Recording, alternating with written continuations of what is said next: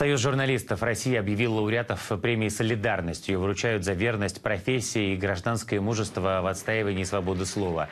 Церемония прошла в Большом зале Московской консерватории. Среди награжденных фотокорреспондент газеты «Коммерсант» Анатолий Жданов. Он работал во многих горячих точках. Латвийский журналист, главред агентства «Baltnews», медиагруппа «Россия сегодня» Андрей Стариков.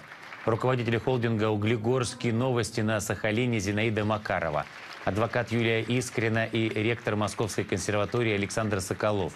Премия «Солидарность» была учреждена в 2020 году. Среди первых лауреатов был основатель Викиликс Джулиан Ассанж, а также журналист и правозащитница Ева Меркачева.